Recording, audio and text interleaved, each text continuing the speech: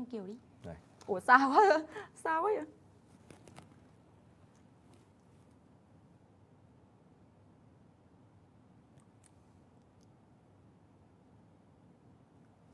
Ok ạ Chuẩn bị này anh này.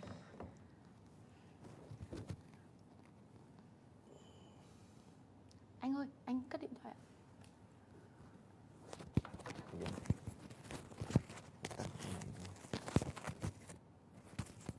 Mày nó, nó theo đà của nó anh.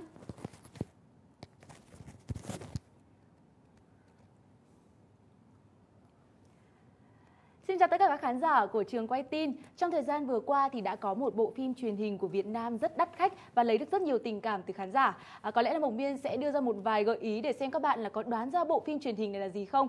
À, bộ phim này thì được phát sóng vào khung giờ vàng, khung giờ vàng 21 giờ các bạn bật TV lên thì sẽ thấy và chắc chắn là bộ phim này thì nếu như nói đến thì rất ít khán giả không biết một bộ phim mà đã lấy đi rất nhiều nước mắt của quý vị khán giả.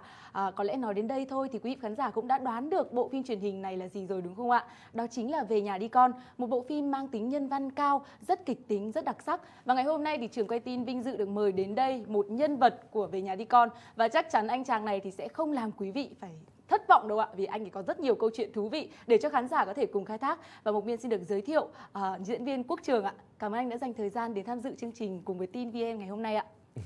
anh cũng cảm ơn chương trình đã tạo cơ hội cho anh có thể trò chuyện cùng em nè và tất cả khán giả của tin ngày hôm nay Ờ, nói về quốc trường vai vũ trong về nhà đi con thì chắc chắn là những cô gái ở đây đều rất thổn thức. Thế nhưng mà trong quá trình mà xem phim thì có rất là nhiều tập đã khiến cho các cô gái cảm thấy vô cùng phẫn nộ bởi một chàng trai có phần gì đó hơi ăn chơi có phần gì đó hơi lăng nhăng. Tuy nhiên thì trong những tập gần đây thì các cô gái lại được xoa dịu bởi một uh, chàng vũ rất là ấm áp một chàng vũ biết quay đầu là bờ. Và ngày hôm nay thì hãy cùng với mộc miên cũng như là tin.vn khai thác câu chuyện của quốc trường nhé à, đầu tiên thì mộc miên cũng vừa biết rằng là anh vừa kết thúc buổi offline với fan hà nội. À, và ngay đến ngay trường quay của tin thì không biết là cảm xúc lúc này của quốc trường ra sao. Không biết là anh thấy là fan hà nội như thế nào ạ? Quá cuồng nhiệt luôn. Rất là cuồng nhiệt, đáng yêu rất là dễ thương.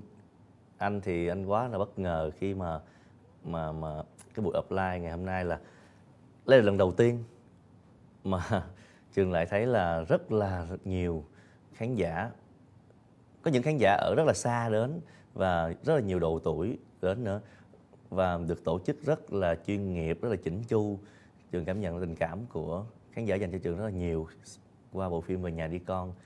Và sau buổi apply xong bây giờ trường qua đây thì cảm giác tiếp theo thật sự là cũng rất là mệt thật sự rất là đuối. Nhưng nhưng mà khi mà vào công việc thì mình lại cảm thấy là phấn khởi.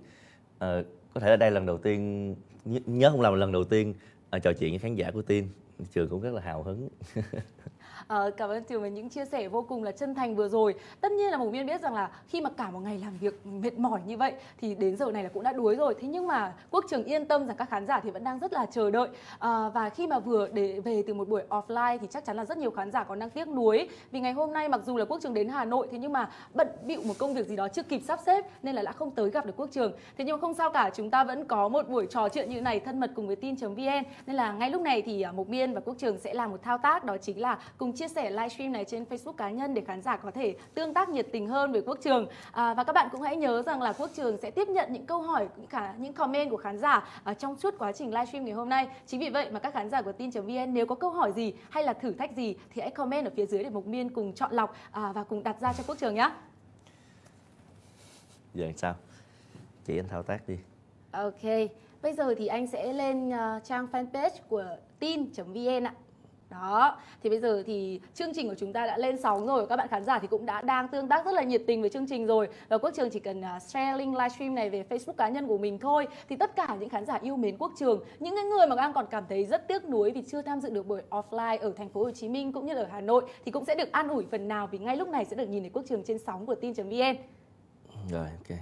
Ok Hồng Miên thì đã hoàn thành xong thao tác này rồi. Chính vì thế mà đang rất là sẵn sàng để chờ đợi Quốc Trường hoàn thành xong. Khi đó thì chúng ta sẽ có thời gian nhiều hơn để trò chuyện cũng như là đặt ra những thử thách Tìm hiểu sâu hơn về anh chàng Vũ này trong Về Nhà Đi Con. Khi mà Quốc Trường xong thì anh có thể nói với Mộc Miên để chúng ta sẽ tiếp tục cuộc trò chuyện ngày hôm nay ạ. Gần xong. Xong Chắc chắn là bây giờ đã có rất là nhiều bạn khán giả comment ở phía dưới rồi. Thế nhưng mà những bạn nào mà uh, đã theo dõi follow Facebook của Quốc Trường cũng như là đã tham gia một buổi offline nào đấy thì các bạn cũng biết rằng là Quốc Trường có rất nhiều okay. tài lẻ. Một trong số đó là ca hát. Chính vì vậy mà nếu như các bạn muốn lắng nghe Quốc Trường hát một bài gì đó trong chương trình ngày hôm nay thì hãy comment tên bài hát ở phía dưới để lát nữa thì Mộc Miên sẽ xem comment của các bạn nhé. Còn bây giờ thì quay trở lại với cuộc trò chuyện ngày hôm nay. À, không biết là trở về thì một buổi offline fan Hà Nội thì anh Quốc Trường có cảm thấy là uh, những khán giả yêu mến anh ở Hà Nội so với ở thành phố Hồ Chí Minh thì có gì khác nhau không ạ? Thật ra thì ở đâu cũng vậy, khi mà đã yêu quý trường rồi đều giống nhau. Nhưng mà nói về độ nóng thì trường có thể phân biệt được rõ ràng ở Hà Nội nóng hơn thành phố Hồ Chí Minh rất là nhiều, nóng về về cuồng về cái bộ phim về nhà đi con. À, cảm giác là rất là nhiều trường chỉ có thể nói như vậy thôi. Wow. à, phải chia sẻ thật với các bạn khán giả của tin.vn là mục miên cũng là một fan ruột của quốc trường. Và nếu như mà uh, không có một buổi livestream ngày hôm nay thì có lẽ mục miên cũng đã tham gia vào buổi offline fan hà nội rồi. Thế nhưng mà để chuẩn bị thật là kỹ cho buổi livestream ngày hôm nay của tin.vn nên là mục miên đã lặng lẽ theo dõi ở xa. Và cũng biết được rằng ngày hôm nay thì uh, quốc trường đã có rất là nhiều phần đặc biệt. Uh, ví dụ như là hát một bài của đan trường này hay là song ca cùng với bảo thanh này. Rất là nhiều chi tiết đặc biệt. Chính vì vậy mà hứa hẹn là trong buổi livestream về tin.vn vn ngày hôm nay thì quốc trường cũng sẽ gửi đến khán giả của tin rất nhiều điều đặc biệt. À, không biết là à, đối với quốc trường thì anh có cảm thấy là có một kỷ niệm gì đặc biệt đáng nhớ ở trong buổi offline hà nội ngày hôm nay mà anh sẽ đem theo suốt hành trình suốt sự nghiệp của mình trong thời gian tới không ạ? Buổi offline ngày hôm nay thì gần như 100% đều là mới với, với trường. 100% đều đem lại cảm xúc rất là nhiều cho trường và 100% luôn đều là kỷ niệm với trường nhưng mà trường ấn tượng nhất là có một cô rất lớn tuổi tầm khoảng 50 60 à, và dẫn theo con của mình. Hay là cháu mình gì đó trường không không rõ lắm. Thì, thì cô mới nói là cô đã lặn lội đường xa lắm lên đây từ buổi sáng và cô rất là thương con. Mà mà cũng mặc cả đồng phục của của FC thì trường điều đó làm cho trường thực sự rất là cảm động rất cảm động thật ra là tất cả mọi người đều dành tình cảm cho trường thì trường đều rất là cảm động. Nhưng thật sự, cái điều mà trường vừa chia sẻ nó khá là đặc biệt, rất là đặc biệt, một cái độ tuổi rất là lớn mà vẫn rất là quý trường chính xác là như vậy. À, khi mà vào vai vũ ở trong về nhà đi con một anh chàng có thể nói rằng là rất là ăn chơi à, rất là lăng nhăng và có phần đôi khi làm khán giả cảm thấy rất là ghét. Thế nhưng mà à, đối với những khán giả đặc biệt là khán giả độ tuổi như quốc trường vừa chia sẻ thì có lẽ là sẽ những người có cái nhìn khắt khe hơn. Thế nhưng mà họ là người mà luôn luôn yêu mến quốc trường yêu cả cái vai vũ trong phim đó nữa. Họ khâm phục à, sự vào vai quá là cuồng nhiệt và quá là ăn ý của quốc trường nên là họ mới tới với quốc trường. Và đây cũng là một tin rất là vui mộc miên muốn chúc mừng quốc trường. À, bây giờ thì Mộc Miên ờ, vừa được nhận một thông tin rất là vui đó chính là lượt xem của buổi livestream ngày hôm nay đang tăng lên rất là nhiều và trong quá trình trò chuyện với khán giả thì Quốc Trường cũng có thể sử dụng điện thoại của mình để có thể tương tác trực tiếp với khán giả, uh, tìm những comment thú vị uh, và bên cạnh đó là có thể xem chính mình đang lên sóng của tin.vn nữa. Uh, trong thời gian đó thì Mộc Miên vẫn sẽ là người hỏi Quốc Trường những cái thông tin mà khán giả đã gửi về cho tin.vn trước đó à, về nhà đi con thì đã đi đến một chặng cuối rồi và chỉ còn một tập nữa thôi là bộ phim sẽ kết thúc. Không biết là với một người ờ, ở trong đoàn làm phim đã gắn bó quá lâu như vậy rồi khi biết được thông tin là bộ phim chỉ còn một tập nữa là sẽ đóng lại khép lại thì quốc trường có cảm xúc như thế nào ạ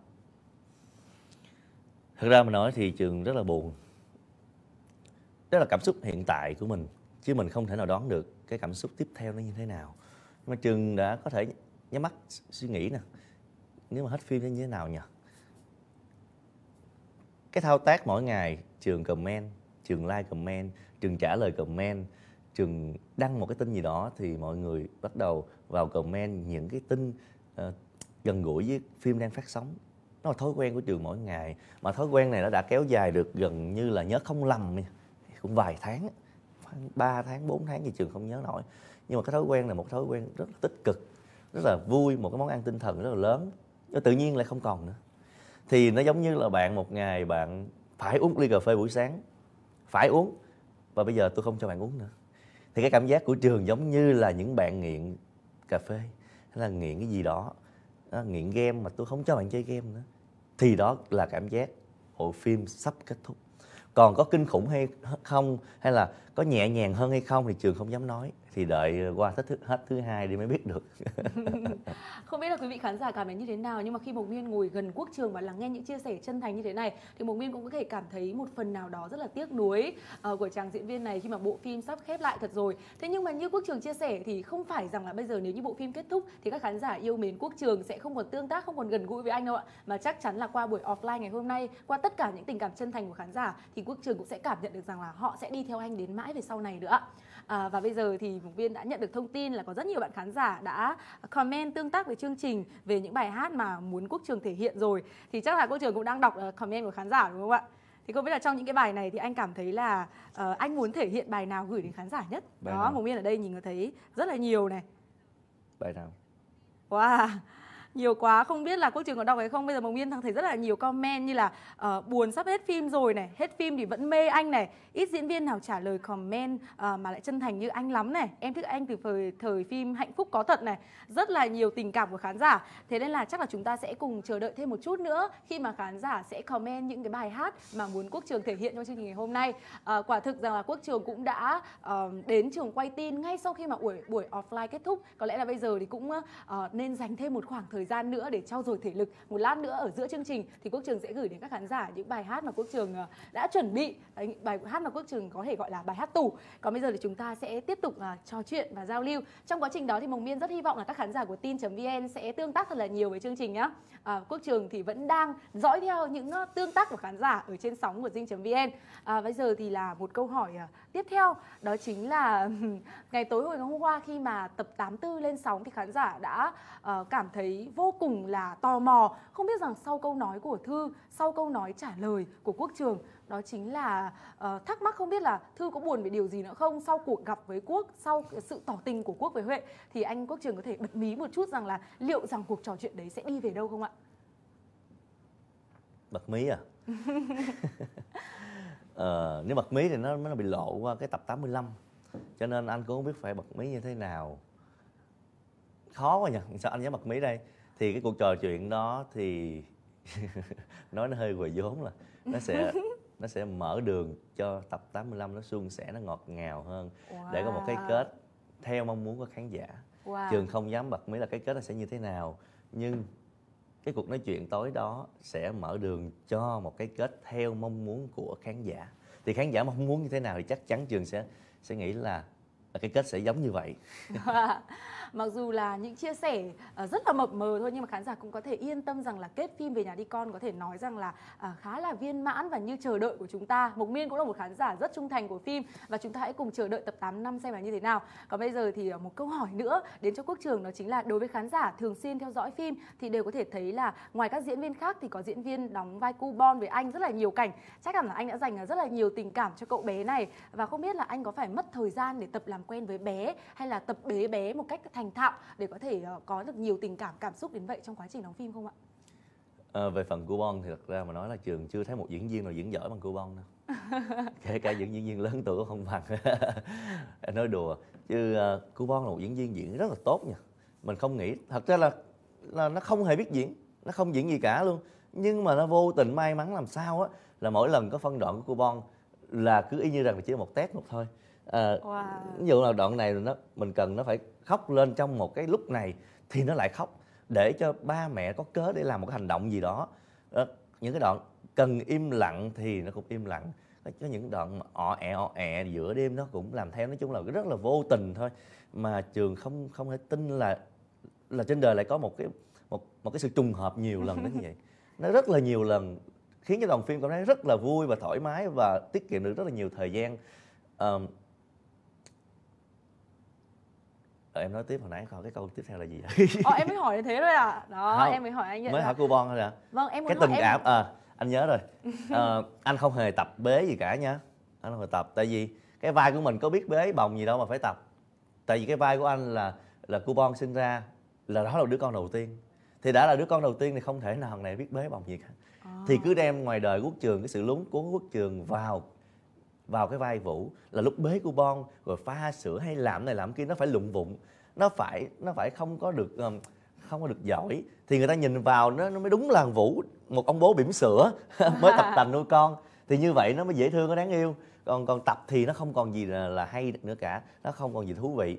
Nhưng mà cứ theo diễn biến phim tại vì phim quay quay á là quay theo thứ tự từ tập nhỏ đến tập lớn quay thứ tự. Thì cứ càng về sau thì trường bắt đầu mới quen mới bế bồng nó nhanh hơn nó gọn hơn nó tốt hơn thì nó đúng theo cái mạch tâm lý trường không cần phải học gì cả cứ làm đúng thôi làm đúng theo theo theo theo cái, cái lịch uh, lịch trình của của của diễn À, chính xác là như vậy. Những cảm xúc rất là chân thành và chúng tôi rất là trân trọng. Và chắc chắn là sau về nhà đi con thì quốc trường không chỉ có thêm những người bạn mới không chỉ có thêm những tình cảm mới những trải nghiệm mới mà chắc chắn là có thêm cả kinh nghiệm nuôi con sau này nữa đúng không ạ? À, và đã quá qua 84 tập phim rồi. À, chắc chắn là quốc trường sẽ dõi theo từng tập phim một bởi vì mộc minh có thể cảm nhận điều đó qua facebook cá nhân khi mà liên tục có những cái chia sẻ rất là dí dỏm à, bật mí một phần nội dung phim hoặc là sau khi à, xong phim chiều xong phim thì quốc trường sẽ chia sẻ với khán giả. Thế nhưng mà khi mà xem lại thì anh cảm thấy là có hài lòng với diễn xuất của mình không? Anh chấm mấy điểm cho diễn xuất của mình trong về nhà đi con ạ? Nếu mà thang điểm là 10 hả? Đúng là như vậy ạ. Không ai diễn được 10 điểm cả trên thế giới này. cho nên không thể nào điểm 10 tốt nhất là 9 đi ha. Còn một điểm để dành cho cái gì nó nó nó, nó kinh khủng khiếp mà mà mà tương lai sẽ có thì mình để dành hay là em nghĩ là một điểm đó chúng ta dành cho khán giả đi khán giả ừ. sẽ tự cảm nhận 9 điểm và là chắc cao chắn nhất là... đi thì trường trong vai vũ. Mà vai vũ là được khán giả đánh giá là một trong những vai diễn hay nhất của trường rồi đó. Thì trường nghĩ là được khoảng 7 điểm.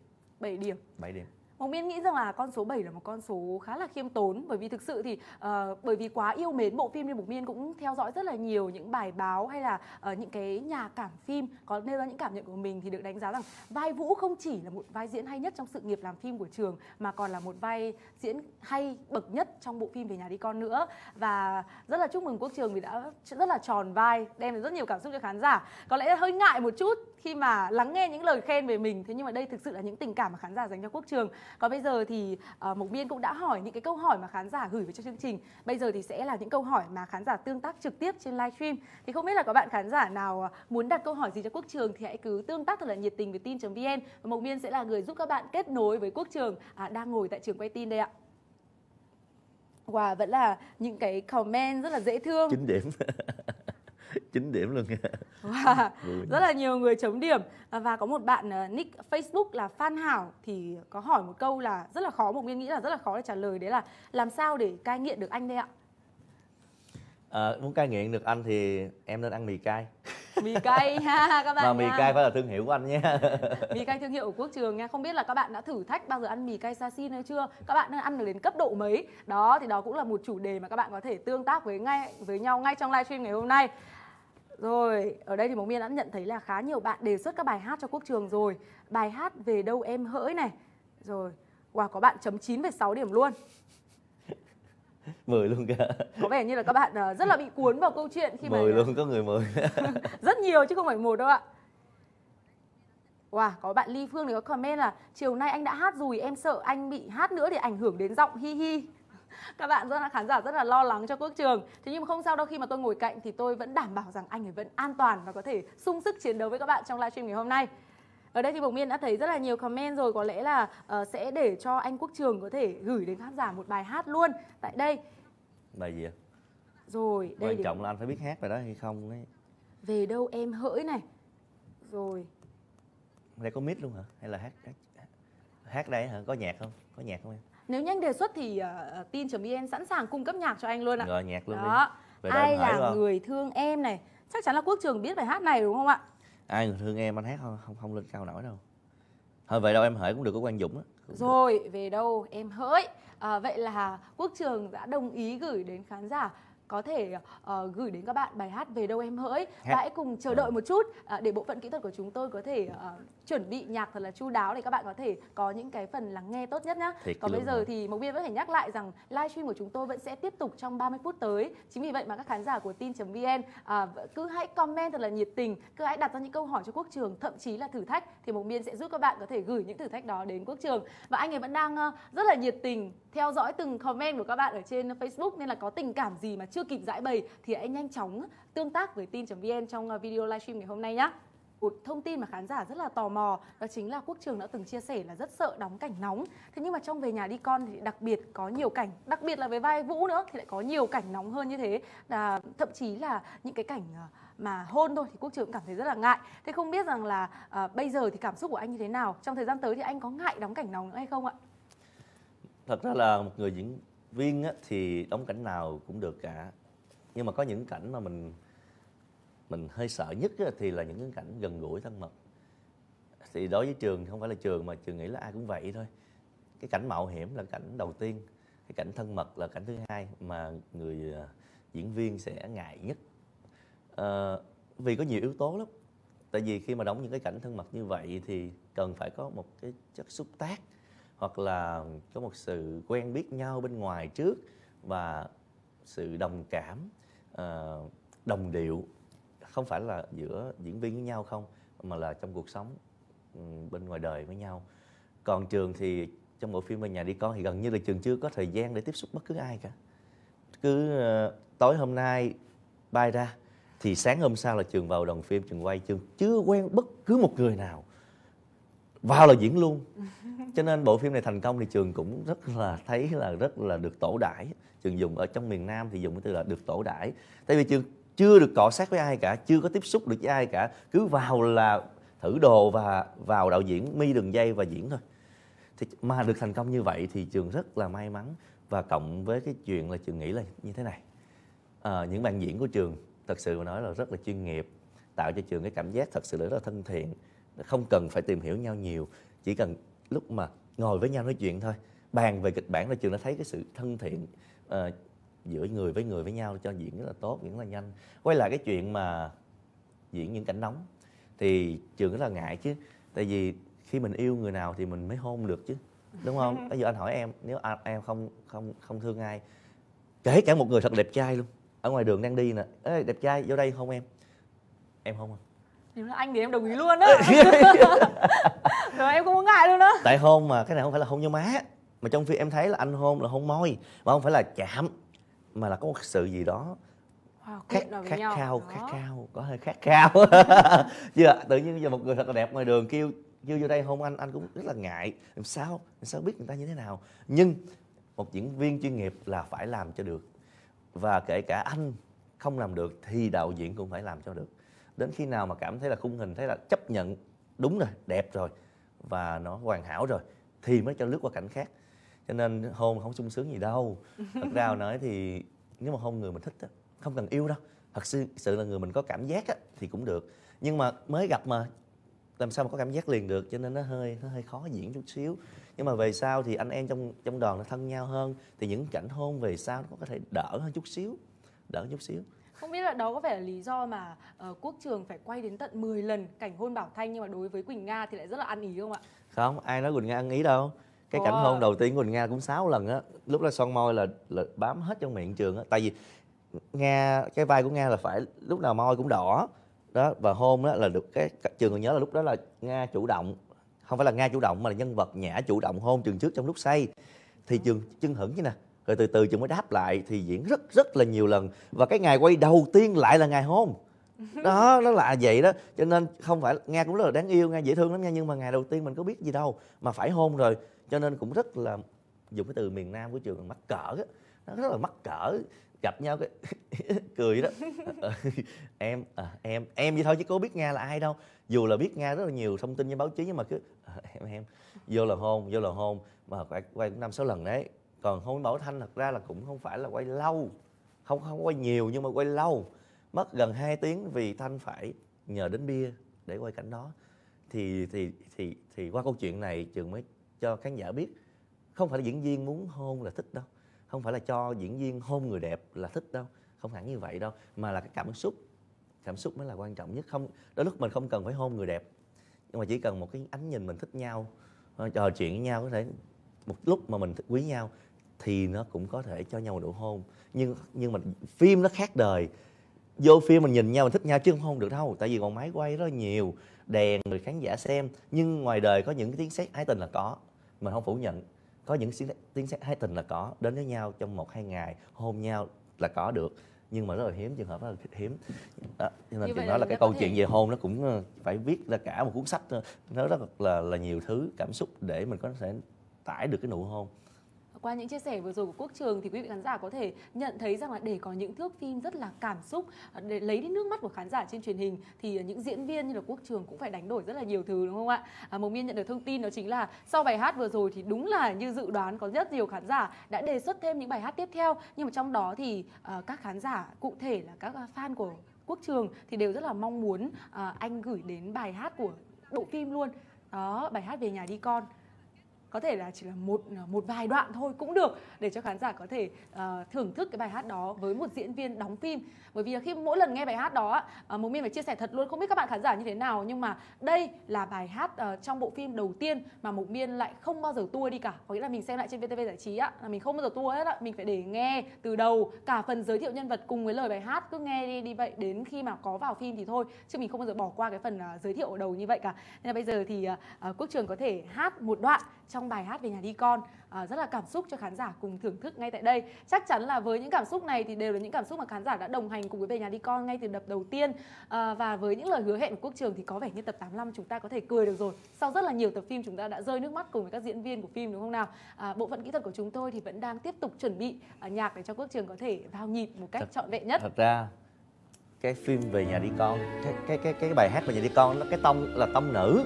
Hình như là nữ thì phải hay là nam thì nam cao lắm trường không đeo được cho nên trường chỉ hát vài câu đầu nhưng thật sự mà nói là trường thuộc chứ không thuộc hết cho nên có có lời càng tốt có lời không nhỉ à, anh có thể search lời trên ờ, trên mạng được không ạ nếu không thì Mộc Miên sẽ giúp anh. Các bạn khán giả hãy chờ một chút bởi vì là chương trình thời lượng chương trình của chúng ta còn rất là nhiều và chúng ta sẽ để cho Quốc Trường chuẩn bị một chút. Nhưng mà có những đoạn lên cao là trường không đeo được tại vì tại vì quá cao, quá cao. Cái đó là tông như tông nữ luôn đó. Wow, em nhớ là đó là một giọng nam cao. đó. giọng anh thì khá là trầm luôn á. Anh là trầm, anh là giọng Quang Dũng. Hoặc là nếu cố cố lắm là như anh đang trường này nọ thôi. Chứ không thể nào mà em sạch được cái lời chứ. Đây ạ. Để ok. Sợ. Rồi ạ, đây là bài hát có tên là Cảm ơn con nhé các bạn khán giả. Rồi, em à, anh có thể cầm điện thoại của em để xem lời. Đó. Đó có lời phải không? Sao lấy nhân sạch không ra ta? Rồi sao ta? Vô sao nè không sao ạ đều là những khán giả rất là yêu mến anh mà anh, anh hát theo cái tông này là anh hát không nổi. Sinh ra đời.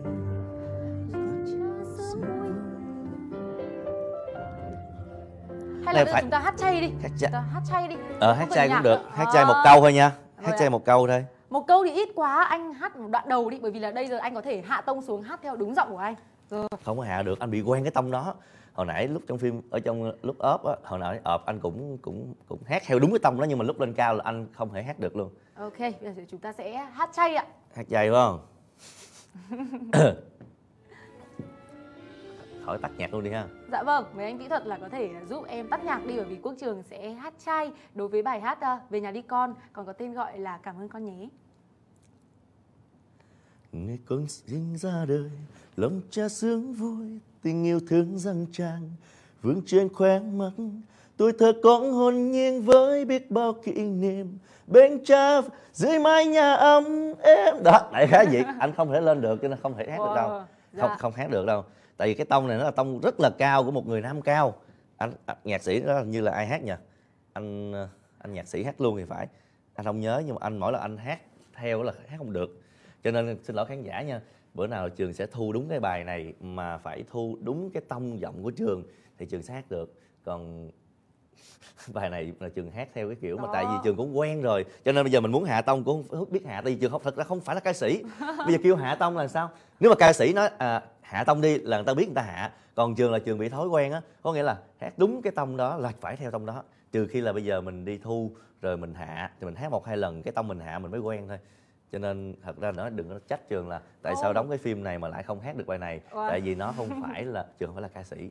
Với cái tông giọng mọi người lại khác nhau bây giờ yêu nghĩ rằng là không có khán giả nào Ừ. lại đi trách quốc trường đâu ạ Đúng người ta rồi. vẫn thường Thông nói cảm rằng anh. là người ta vẫn thường nói rằng là đàn ông mà có một giọng trầm ấm thì rất là quyến rũ Ờ. thế nhưng mà à, trầm ấm thì các quý vị khán giả cũng không thể đòi hỏi là có thể hát một giọng nam cao được chính vì thế đây gọi là một thử thách mà có thể là quý vị khán giả có thể tự chấm điểm cho quốc trường xem là đã đạt được mấy điểm trong thử thách này rồi đúng không ạ một điểm đó chắc một điểm đóng phim thì chấm 10 điểm mà hát về nhà đi con là chấm một điểm là không được nha bây giờ thì chúng ta sẽ tiếp tục quay trở lại với cuộc- một cuộc trò chuyện à, Mộc Miên rất là tò mò không không biết là khi mà trong quá trình đóng phim khi về nhà đi con thì mỗi nhân vật nữ lại là một cá tính khác nhau. À, mặc dù là phim của rất là nhiều nữ thế nhưng mà mỗi nhân vật lại là một cái màu sắc hoàn toàn khác biệt. Thì không biết là khi mà quốc trường làm việc với lại Bảo Thanh này à, với lại Thu Quỳnh này rồi với lại Bảo Hân này thì quốc trường có những cảm xúc như thế nào có ấn tượng gì về đặc biệt về những nhân vật nữ trong phim ạ?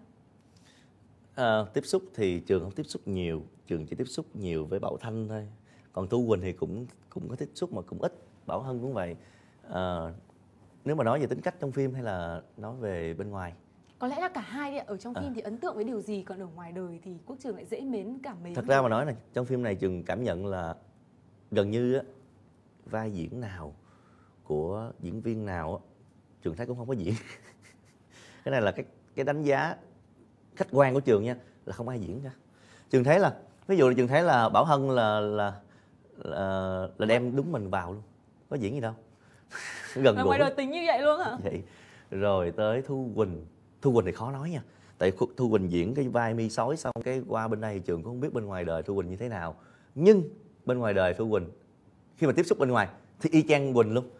Ủa y chang uh, huệ luôn. Đó y chang huệ luôn. Mình giật mình ủa vậy là mi sói là ai ta? Ví dụ ví dụ mà đã diễn huệ như vậy nhưng mà lúc mà cắt đi ra ngoài cuộc sống thì cũng có sự hầm hố thì ra mi sói nhưng mà khi mà cắt rồi thì trường mới thấy là sinh hoạt, cuộc sống thì cũng là huệ. Vậy trường không biết là thu quỳnh là huệ hay là mi sói. Nếu mà là huệ thì thu quỳnh diễn quá hay. Hóa thân vào nhân vật mi sói kinh khủng thiệt. Mà tính cách nếu mà ở bên ngoài mà là mi sói mà diễn được dây huệ thì cũng dùng cái từ là bái phục. Sư phụ lại bằng sư phụ luôn. Thì đó, thì trường bái phục uh, thu quỳnh thì trường cũng không biết thu quỳnh bên ngoài là tính cách như thế nào. Thôi mà cứ tính cách là huệ sẽ hay hơn. Tiếp đến là tới ờ, bạn diễn bảo thanh. Thì gần như là trường thấy bảo thanh cũng không có cần phải diễn nhiều đâu. Bảo thanh không có diễn nhiều không dùng kỹ thuật kỹ thuật biểu diễn trong đây. Trường thấy là ngoài đời thanh cũng tưng tửng nha. Đáng yêu dễ thương tưng tửng vậy. Thì thì vào cái vai nó cũng cũng rất là hợp. Đó trường thấy là ba tính cách ba nhân vật đại diện cho ba hình mẫu của phụ nữ hiện đại như ngày hôm nay. Sẽ có những phụ nữ rất là cá tính cá tính thiên về uh, tomboy tomboy. Rồi có những ờ, người phụ nữ dịu hiền um, có một chút chịu đựng như là là, là của huệ. Và một người phụ nữ hiện đại cá tính là như thư. Ba ba cá tính của ba nhân vật của ba đại diện cho ba phụ nữ của cái thời hiện đại đều là những người phụ nữ. Thật sự mà trường nói là trường rất là tôn trọng và quý rất là quý. Như vậy có thể thấy là Quốc Trường à, đánh giá rất cao cả ba người bạn diễn nữ của mình à, Dù là những người đã có nhiều kinh nghiệm như là Thu Quỳnh hay là Bảo Thanh Hay là những người vẫn còn rất là trẻ như là Bảo Hân Nhưng còn đối với Quốc Trường thì sao ạ? À, anh vào một vai mà anh cảm thấy rằng là chính mình cũng không phải diễn quá nhiều Thế còn ở ngoài đời thì anh như thế nào? Và nếu như mà phải vào một vai diễn khác với tính cách hoàn toàn đối lập Ví dụ là một chàng nông dân nghèo khổ đi Hay là những ờ, ờ, một cái chàng trai mà rất là chịu đựng Hay là một cái vai diễn như Khải chẳng hạn Hay thậm chí là như Quốc hoặc là như Bảo Thì anh nghĩ rằng là mình có thể vào vai trọn vẹn được như Vũ không ạ? suy nghĩ suy nghĩ suy nghĩ xíu nha.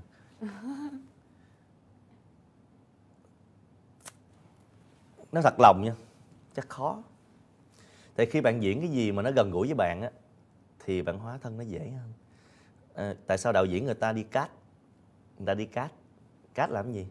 Cast là tìm những người phù hợp vai là gần gũi với họ ngoài đời thì người ta dùng đi cast cái cả Hollywood cũng vậy thì không thể nào mình chọn một cái người mà không có điểm tương đồng mà đi diễn được thì khó mà tạo nên thành công.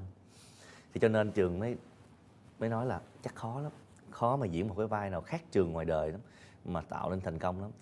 Vai vũ với quốc trường ngoài đời nó gần như là giống nhau. Mình không dám nói là một bản photo nhưng gần như là một cuốn album của của của cuộc đời quốc trường nằm trong nhân vật phủ à, ờ, mỗi một thời gian đại diện cho một tấm hình thì khi hết một cái cuốn album đó thì đại diện cho cái nhân vật vũ trong cái bộ phim về nhà đi con. Tại vì quốc trường cũng từng có những lúc rất là ham chơi. Quốc trường cũng từng có những lúc rất là thích tán tỉnh con gái. Quốc trường cũng có những lúc bốc đồng tuổi trẻ, thích đua xe. Quốc trường cũng từng có những lúc rất là chững chạc. Quốc trường cũng từng là những lúc rất là thích làm ăn.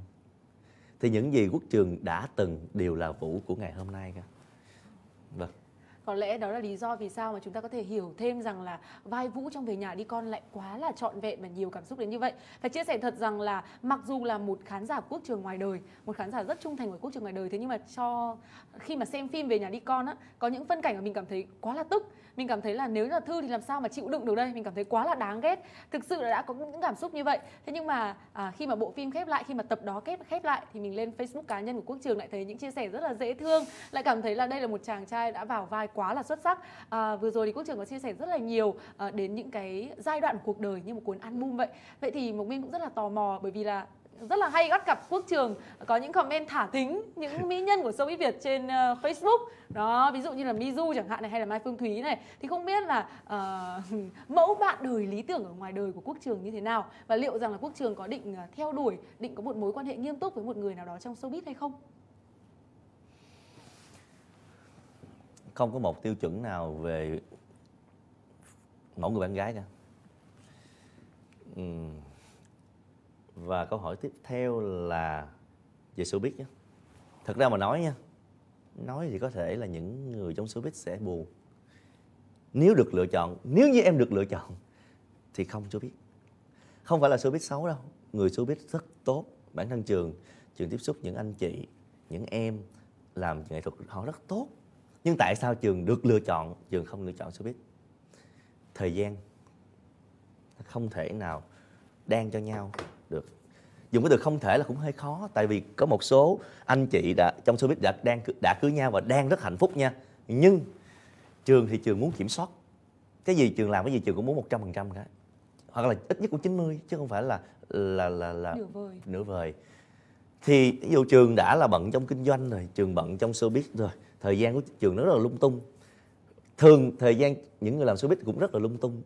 Họ phải đi theo thời gian của show của quảng cáo của event, của phim. Chứ chứ không thể nào mà người ta theo họ được. Cho nên, trường khi mà trường lập gia đình, trường muốn dành tất cả mọi thứ tốt đẹp nhất cho con của mình. Và một phần tốt đẹp nhất cho vợ của mình. Mà muốn dành thời gian cho vợ, cho con, thì cái điều đầu tiên bạn phải dành thời gian chứ. Ờ bạn dành cho vợ, cho con thì cái dành đầu tiên phải là thời gian. Nếu bạn không dành thời gian thì bạn đừng bao giờ nói với tôi là bạn dành cái gì được tốt đẹp cả cái yếu tố thời gian là yếu tố quyết định của một đứa trẻ nó lớn lên, nó phát triển. Đó, bạn phải dành thời gian cho nó, bạn phải bơm nó, chất dinh dưỡng bằng thời gian mới được. Thì cái thời gian cộng thêm cái tình yêu thương của cha mẹ cho nó thì cái gia đình mới hạnh phúc. Chứ không phải cứ ờ, một, hai tháng mới gặp nhau một lần, một, hai tháng mới chở nhau đi công viên một lần. Trường muốn mỗi một tuần phải là cuối tuần phải đi công viên. Trường muốn mỗi tháng, mỗi quý phải là đi du lịch nước ngoài. Trường muốn như vậy thì trường cần một cái người thật sự dành thời gian nhiều cho trường. Và trường cũng tự động, lúc thời gian đó, trường cũng sẽ bỏ bớt công việc để dành thời gian cho vợ mình. Để có một cái tổ ấm thật sự là là đủ và đầy, đủ và đầy. Nhưng mà trường tâm sự ở đây thì những anh chị làm showbiz chưa chắc đã đã đã đã là không không không dành đủ ở đây nha. Nhưng trường muốn cái gì nó chắc hơn nha nó muốn chắc hơn, chứ không phải tự nhiên hôm nay báo lịch quay, cái vợ mình cũng báo lịch quay. Ơ, chết rồi anh ơi. Quỷ, cái cái cuộc hẹn cuối tuần dành cho con. Tại vì đó mà không chắc mà, thì trường muốn gì nó chắc hơn, nó chắc hơn chắc chắn là những cô gái mà đang uh, chuẩn bị lập gia đình khi mà lắng nghe những cái lời chia sẻ này thì cảm thấy rất là ấm lòng đúng không ạ? Và chúng ta thấy một hình ảnh rất là khác trong vũ về nhà đi con. Ở đây là một hình ảnh quốc trường rất hướng tới tương lai rất hướng đến những mầm non bé bỏng à, cụ thể là con của mình. Và trong thời gian tới thì chắc chắn là khán giả sẽ rất chờ đợi và dõi theo anh xem là khi mà quốc trường thực sự là một ông bố thì sẽ như thế nào. Và bây giờ thì chúng ta sẽ tiếp tục uh, lắng nghe những comment của khán giả. Bên cạnh đó là cũng sẽ trò chuyện uh, tiếp tục uh, về những câu chuyện xoay quanh sự nghiệp uh, cũng như là thời dự định sắp tới của quốc trường. À, bây giờ thì anh quốc trường có thể gửi lại em cái điện thoại được không ạ? Đó em cũng rất là tò mò biết là à, khán giả chia sẻ với anh những điều gì. Rồi, Mông Miên sẽ tiếp tục quay lại với fanpage của tin.vn để đọc những comment của các bạn khán giả. Và hãy nhớ rằng là luôn luôn đặt câu hỏi, chia sẻ tình cảm của mình cũng như là đặt thử thách cho Quốc Trường nhé ừ. Wow. Chỉ chỉ trò chuyện một chút thôi thế mà đã có rất là nhiều comment rồi. Có lẽ là Mông Miên sẽ không thể nào mà đọc hết comment của các bạn khán giả đâu Em chết trong ánh mắt anh rồi. Rất thích khi quốc trường nói giọng nam pha giọng bắc. Wow từ nãy giờ có chưa ta? Có, em anh dùng từ nhiều. tò mò á. Có nghĩa là cái giọng của anh vẫn là nam nhưng anh dùng từ bắc nhiều. À, mà anh dùng từ bắc anh phải cố tình mà giờ bị phản xạ tự nhiên. Có nghĩa anh ở đây quá lâu và bạn anh người bắc rất là nhiều. Cho nên bị phản xạ tự nhiên là đôi lúc mình dùng những cái từ rất là miền bắc. Anh biết điều đó mà ờ. thế nhưng mà bây giờ mục viên lại thắc mắc là nếu như mà cho quốc trường một thử thách đó chính là nói một đoạn nào đó bằng tiếng miền bắc luôn thì anh có làm được không ạ? Không bao giờ làm được. Không làm được luôn ạ. Wow. nghe nó nó buồn cười lắm. Ví dụ giờ anh nói cái câu là anh ơi anh ăn gì mà đẹp trai thế à? Còn dễ thương nữa vừa bắt đi. Anh ơi anh ăn gì mà đẹp trai thế à? Ôi rồi còn dễ thương nữa. Wow, đáng yêu ấy chứ ạ. Nhưng em vẫn thấy là nó chưa hẳn là miền bắc được. Nó vẫn Không là thể nào. nó không nó... anh nói em không thể nào anh ở đây 10 năm anh cũng không thể nào là hẳn miền bắc được luôn. Không thể nào được. Đó nhưng mà nghe khi mà quốc trường cố nói giọng bắc để chiều ý fan thì nghe rất là dễ thương đúng không? Đó ngày hôm nay thì mộng miên rất là chờ đợi những thử thách như vậy có thể là chỉ là những cái điều rất là nhỏ thôi. Thế nhưng mà quốc trường cũng rất là sẵn sàng để có thể gửi tình cảm của mình đến những bạn fan. Rồi ở đây thì mộng miên thấy có rất là nhiều comment bảo là anh đừng lấy vợ sớm anh nhá này. Wow, nhiều quá liên tục luôn ạ không cần quốc trường hát đâu quốc trường nói chuyện được rồi. Có lẽ là khi mà vừa rồi mà anh ờ, cố gắng gắng hát tông cao chiều các bạn khán giả thì các bạn đã rất là xót xa và đau lòng rồi. Bởi vậy Bây giờ thì chắc là tin.vn cũng sẽ không đặt thử thách hát cho Quốc Trường nữa mà sẽ chỉ trò chuyện thôi. Không biết là các bạn khán giả có bạn nào đặt câu hỏi cho Quốc Trường hay không hay là các bạn đã bị cuốn vào câu chuyện những cái chia sẻ của Quốc Trường mất rồi. À, trong thời gian đó thì Mồng Biên vẫn sẽ tiếp tục gửi đến Quốc Trường những câu hỏi từ những bạn khán giả mà đã gửi về trường quay tin từ trước đó khi biết rằng khách mời ngày hôm nay là một vị khách rất là đặc biệt là chính là Quốc Trường. À, Mồng Biên muốn hỏi rằng là xuất phát điểm là một người mẫu sau đó thì chuyển sang làm diễn viên thì không biết là Quốc Trường có gặp điều gì khó khăn hay không? Bởi vì người ta vẫn thường ờ, nói rằng là thời điểm đó thì người mẫu đi đóng phim thì nói thật ra vẫn chưa thực sự được coi trọng cho lắm. Thì có điều gì mà khiến cho quốc trường cảm thấy là chán nản và muốn dừng lại, muốn bỏ cuộc hay chưa ạ? chính xác là trường không phải là người mẫu đóng phim. Trường là người mẫu đi thi cuộc thi ngôi sao ngày mai. Cuộc thi ờ, lúc đó là lớn nhất cả nước á, tới tới một hai ngàn người dự thi và trường là đoạt giải nhất. Thì nói đúng hơn là trường đã đoạt giải nhất về cuộc thi diễn viên triển vọng thì trường mới đóng phim chứ không phải là người mẫu nha. Trường từng làm người mẫu, nhưng trường được bắt cầu qua cây cầu là cuộc thi ngôi sao ngày mai. Đã mài dũa cho trường về diễn xuất rất là nhiều và bắt đầu người ta nhìn trường không phải là người mẫu, mà người ta nhìn trường là một diễn viên. Tại vì trường đi thi, cuộc thi đó, trường đã đã đã chiến thắng được giải nhất. Và trong cuộc thi đó cũng rất là nhiều anh chị đang học trong trường sẽ có điện ảnh. Nhưng mà trường may mắn thôi. Trường may mắn giống như là mình có tố chất. Và cái cái tiêu chí của cuộc thi đó là người ta chọn một cái người không biết diễn nhưng có tố chất. Chứ cuộc thi đó không phải là chọn một cuộc thi là người diễn giỏi. Cho nên trường thấy là rất là nhiều anh chị diễn giỏi á, nhưng mà không đoạt giải là do là là người ta chọn là một cái trang giấy trắng và bắt đầu người ta viết vào. Thì trường may mắn là trường đoạt giải đó. Còn khó khăn thì chắc chắn là muôn trùng khó khăn rồi. Nó muôn trùng khó khăn là mình không hề biết bất cứ cái gì. Cái bất lợi đầu tiên là người miền tây là cái giọng nói là phát âm sai sai nhiều lắm. Ờ, phát âm gần như sai hết chính tả thứ hai là mình khăn gói lập nghiệp mình lên sài gòn với một cái con số không. Nó chính xác là chỉ có 5 500 ngàn đồng năm 2009 cầm 500 ngàn đồng đi lên lập nghiệp tới thời điểm ngày hôm nay 500 ngàn đồng. Khó khăn nữa là mình không biết đường biết xá, khó khăn nữa là mình diễn tệ, diễn dở, khó khăn nữa là mình không có mối quan hệ, không có giao lưu bất cứ với một diễn viên nào.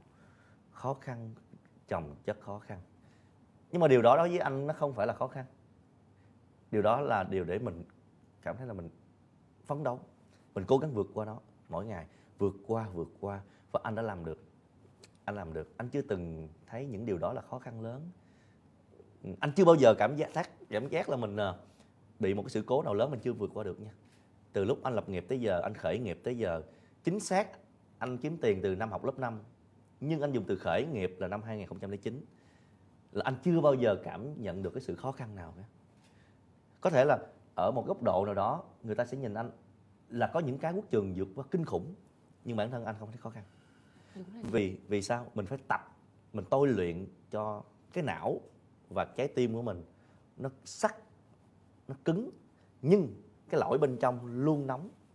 Mà để luyện được như vậy thì thì không có một công thức nào cả mà nó vô tình nó được tôi luyện từ gia đình. Cái ngọn lửa gia đình dành cho trường rất là ấm áp. Cái ngọn lửa tình bạn trong xã hội dành cho trường rất là ấm áp. Và cái tình người trong lúc trường lập nghiệp ở Sài Gòn dành cho trường rất là ấm áp. Và trường tin trên cuộc đời này là có hoa hồng. Trường tin trong cuộc sống này có màu hồng. Trường tin. Và cuộc đời của trường đều là hoa hồng và đều là màu hồng. Đôi lúc cái cái màu hồng của mình nó nhiều quá. Cho nên có một số người xấu pha màu đen vào nó không ảnh hưởng. Giống như thiền sư thích nhất hạnh nói một câu là không không chính xác là thích nhất hạnh cũng có thể nhiều người đã từng nói câu này. Bỏ muỗng muối vào ly nước nước rất mặn. Bỏ muỗng muối xuống biển ồ, xuống sông nước không mặn. Thì mình mới nghĩ là gì? Thì mình trong đầu mình á cứ luôn luôn hồn nhiên luôn luôn vui tươi đi luôn luôn nghĩ đến những cái đẹp đi những cái tốt nhất đi. Mình nhìn mọi người bằng cái tình yêu yêu thương bác ái thì chắc chắn không có một sự tổn thương dành cho mình. Wow. tại vì em dành cho người ta màu hồng thì người ta sẽ dành cho em màu hồng. Thì khi người ta đem cái màu đen vào á thì tấm lòng của mình giống như biển cả là con sông. Thì người ta đổ muỗng muối biển muỗng đường này nó không nhầm nhòi. Dạ. đó là triết lý của Phật pháp Phật giáo cái triết lý cực kỳ hay mà trường thấy là cái triết lý này là triết lý để khiến cho mình thay đổi cuộc đời thay đổi cuộc, cuộc đời của mình. Và nó ảnh hưởng đến công việc của mình luôn. Khi mà em dành trái tim ấm áp dành một cái cái cái lòng từ bi bác ái cho những người chung quanh thì cơ hội đến em rất là nhiều. Cơ hội đến nhiều lắm người ta sẽ ban cơ hội cho em vì em là người tốt vì em là người không bao giờ biết nói xấu ai và em là người luôn nỗ lực phải nỗ lực nha, chứ không phải là mình cứ sống tốt là là có cơ hội đâu. Sống tốt nhưng phải học hỏi, sống tốt nhưng phải rèn luyện, sống tốt nhưng phải trao dồi tư duy. Đọc thật là nhiều sách, nghiên cứu thật là nhiều tài liệu, và đặc biệt là đọc thật là nhiều sách tôn giáo, thì cơ hội nó sẽ tự đến với mình thôi. Cơ hội sẽ đến mình, và mình sẽ là cái người sẽ lấy cơ hội. Và có thể là trường có quá nhiều cơ hội, nhưng có những người họ không có một cơ hội nào. Họ sẽ hỏi là tại sao quốc trường lại quá nhiều cơ hội? Ông trời cho trường nhiều thứ quá vậy tại sao cho ngoại hình cho phim đóng cho sự nổi tiếng cho tiền tài vật chất cho được gia đình hạnh phúc cho được bạn bè ai cũng yêu thương trường cho khán giả yêu thương trường cho tất cả anh anh chị giống như em ngày hôm nay cũng yêu quý trường?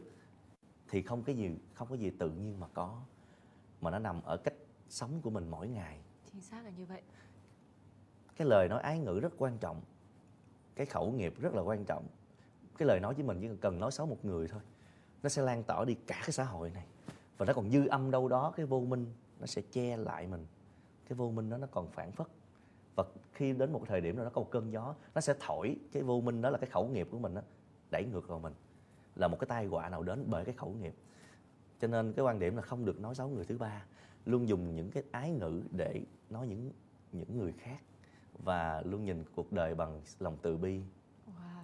Thực sự rất là cảm ơn Quốc Trường vì ngày hôm nay không chỉ đem đến những cái chia sẻ của bản thân mình mà còn đem đến những cái thông điệp rất là tốt đẹp trong cuộc sống và Mục Biên thực sự rất là chia sẻ với điều này. À, có lẽ là đối với những gì mà Quốc Trường đã chia sẻ thì Mục Biên cũng phải thay các bạn khán giả nói một điều. À, đôi khi người ta nhìn Quốc Trường có quá là nhiều thứ và không phải là Quốc Trường không gặp khó khăn gì mà đôi khi là bởi vì là cái nỗ lực, cái cố gắng, cái ý chí của mình quá lớn để mình có thể vượt qua những điều đó. Thì hy vọng là trong thời gian tới thì Quốc Trường vẫn sẽ luôn luôn giữ được một tâm hồn như thế này. Phải nói là như vậy. Và bây giờ thì chúng ta sẽ trò chuyện sang một à, mảng hoàn toàn mới đi. À, chúng ta đã chia sẻ với nhau à, sâu đít từ nãy đến giờ rồi. Bây giờ sẽ chỉ à, có mình sẽ hỏi quốc trường hai câu hỏi nữa thôi để cho khán giả có thể nắm được trong thời gian tới. À, thứ nhất là à, đối với thời gian đối với những chương trình thực tế thì chưa thấy sự xuất hiện của quốc trường. Không biết là có phải là bây giờ các xây của quốc trường quá cao hay không mà không thấy quốc trường tham gia vào những cái sâu truyền hình thực tế?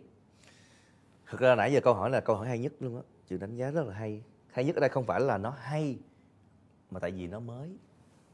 Những câu bạn đã hỏi nãy giờ, nó rất là hay nhưng quá cũ với trường rồi. Rất là nhiều người hỏi rồi, những câu hay. Trường cũng muốn chia sẻ là tại sao là trường chưa bao giờ chơi game show. Có từng chơi ngày xưa, nhưng mà gần đây, hoặc là một hai năm nay chưa có chơi. Thì nó là như vậy. Mình làm cái gì á, nó cũng phải là làm trong tự nguyện và làm trong sự hạnh phúc. Thì nó mới phát ra tín hiệu tích cực. Thì kể cả chơi game cũng vậy nếu mà thật sự mình không thích chơi game, thì đừng gượng ép. Trường đã nói thẳng với, gần như trường đã tuyên bố với tất cả mọi người là trường không chơi game. Kể cả tuyên bố với ekip thực hiện ờ, game show là trường rất là ngại từ chối, nhưng cho phép trường được từ chối. Trong cuộc sống, phải học cách từ chối để đi lên. Phải học cách từ chối. Từ chối rất khó nha. Thật sự cái học cách từ chối rất là khó, tại vì khi mình mở lời mình từ chối, cái ranh giới giữa không khéo và không không khéo, rất là ngắn. Nó sẽ đi qua cái chảnh chọe. Khi mình từ chối mình không chơi cái gì đó, nó chảnh chọe liền. Nhưng mà trường cũng muốn qua chương trình này, trường tâm sự như nè. Trường đã từng thử chơi rất là nhiều game. Rất là nhiều game. Nhưng trường không không thấy chính mình trong game. Trường phải diễn. Trường đóng vai mình là phải là người diễn. Không phải là quốc trường. Chơi game phải là quốc trường. Tại người ta mời mình là mời quốc trường chứ không có mời ai cả. Mà mình chơi mình không phải là quốc trường. Mình rất là gượng gạo thì cái điều đó ám ảnh mình. Ám ảnh lần thứ nhất, mình chơi thử lần thứ hai. Bắt đầu cũng không có được thoải mái. Tới lần thứ ba, trường nhớ là trường từng chơi ít nhất là bốn lần game, bốn lần. Gần như là bốn lần. Cái cái cuối cùng để cho trường tự hứa với lòng không bao giờ chơi game nữa là cái ơn rời. Cái chương trình ơn rời rất là hay, rất là hay. Thông điệp có luôn cũng ý nghĩa đó. Nhưng không phù hợp với mình. Không phải là không phù hợp với ân rời mà không phù hợp với bất cứ game nào cả nhưng sẽ rất là phù hợp với những chương trình như thế này. Trường sẽ rất phù hợp với những chương trình mà trò chuyện, truyền cảm hứng, thông điệp trong cuộc sống và nói đời thật của trường từng vấp ngã cái gì đó, tâm sự với bạn và lan tỏa với cộng đồng thì nó phù hợp với trường.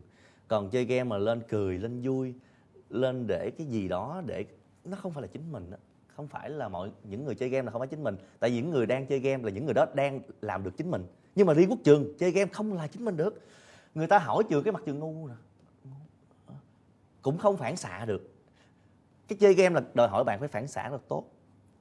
Nhưng mà trường là người rất là dở. Gần như là chậm tiêu đi dùng hơi ngu. Tại không phải. Tại vì á cái, cái sự liên kết tế bào não á trong trong não chúng ta nó có những neuron thần kinh đúng không? Nó sẽ có những tế bào não liên kết với nhau nha mỗi một tế bào não nó liên kết như, như thế nào nó xạo sẽ tạo ra được cái ưu điểm của con người đó. Bạn có thể chậm tiêu trong việc này không có nghĩa là bạn là người không thông minh. Đừng bao giờ bạn tự hào là tôi chơi những chương trình đó tôi thông minh quá sai. Cái cái kết cấu tế bào não liên kết của hệ thần kinh tế bào nó sẽ tạo cho bạn được cái sự thông minh của lĩnh vực nào đó. Ví dụ liên kết tế bào nó sẽ tạo cho bạn sự thông minh về toán học. Thì bạn cứ nhìn theo toán học là nhảy số rồi. Nhưng mà kêu bạn làm về văn học là bạn không làm được Dù một người đọc lịch sử thuộc liền, chưa chắc gọi là thông minh tại vì não của chúng ta nó sẽ phân phân ra, nó sẽ giỏi về cái gì cho nên tại sao những nhà khoa học là nói phải kích hoạt não chúng ta lên hơn 20%. Nếu mà não chúng ta kích hoạt được 100% thì đúng là một người thông minh. Là thông minh hết tất cả luôn, là dùng cái từ là thiên, trên thông thiên văn mình dưới tường địa lý là não 100%. Á. Còn não chúng ta chỉ có 5, 7, 10% thôi. Cho nên bạn đôi lúc mình đừng có tự tin quá về mình là người giỏi nha. Bạn nghĩ là mình thông minh quá no. No. Với cái trường hợp này với lĩnh vực của bạn là bạn thông minh nhưng đối với bạn đem qua lĩnh vực khác trường hợp khác bạn chả biết gì trường đối với game là một thằng ngu nói thẳng luôn ngu đần luôn không biết cái gì vô cứ ngớ ngớ ngớ ví dụ cho chơi nhanh như chớp là ngu luôn tại nhanh như chớp nó là đòi hỏi sự nhạy bén của một cái, cái mẹo cái gì đó ngoài đời đó trường thì trường không có nhạy bén về đó. Nhưng trường trường sẽ nhạy về cái chuyện là phải nói làm sao để cho nó khéo chứ không thôi là mình sẽ tự cao. Ví dụ trong kinh doanh trường sẽ nắm bắt được thị hiếu. Cách nói chuyện với, giữa người với người trường sẽ truyền lửa được họ. Trường sẽ nói để cho họ cảm thấy là lửa cháy chứ không phải là giỡn hết. Tôi có thể nói chuyện với bạn về một vấn đề nào đó trong xã hội. Bất cứ lĩnh vực nào đó đang đang trong xã hội tôi sẽ nói chuyện với bạn về điều đó và nói chuyện một cách nghiêm túc. Thì ok mời tôi. Dạ. hoặc là đi uh, trao quà hay làm cái gì đó hoặc chơi những cái chương trình gì đó để giúp những người này người kia mà nó có sự nghiêm túc đừng có giỡn hết trong đó thì trường làm được. Còn mang tính chất đùa giỡn phản xạ trường dở lắm. Trường trường rất là dở thì mong là game show cứ nghĩ trường một người rất là dở trường không thể nào chơi được đâu. Vâng. Qua những chia sẻ rất là chân thành của Quốc Trường thì các khán giả cũng đã hiểu được lý do vì sao mà Quốc Trường không nhận lời chơi các game show. Nhưng mà qua đó thì các quý khán giả vẫn thấy là Quốc Trường vẫn xem các game show rất là đều đặn. Xem chứ. Và xem rất là nhiều. Xem. Bây giờ thì sẽ là một câu hỏi cuối cùng thôi. Vì bây giờ thì các fan của anh đã sót anh quá rồi. Nên là Mộc Miên chỉ dành cho anh một câu hỏi cuối cùng. À, câu hỏi mà các khán giả cũng rất là um, tò mò. Đó là dự định của anh trong thời gian tới sẽ như thế nào ạ? Một chia sẻ rất là ngắn gọn. Thật ra mà nói là ngày hôm nay trường có ngày hôm nay rất là nhiều dự án muốn trường tham gia. Cái điều đó là nói thật. Mình, nếu mình khiêm tốn cái chuyện này là xạo. Thật sự là rất là nhiều dự án muốn trường tham gia, nhưng mà trường chưa tham gia dự án nào được. Tại vì trường đọc tất cả những kịch bản nào đó, trường vẫn thấy nó có gì đó nó chưa có cảm xúc, dùng cái từ đi, trường chưa cảm xúc được. Cho nên trường xin phép được từ chối, lại là từ chối nữa đó. Lại là từ chối. Mong là mọi người nhận lời từ chối của trường đó, hiểu trường thương trường trường không bao giờ chảnh gì đâu. Nếu mà trường chảnh trường sẽ không có chạy chỗ này chạy chỗ kia để phỏng vấn chỗ này đầu này đầu Chính kia. trường không hề chảnh đâu. Nhưng mà trường không thấy phù hợp.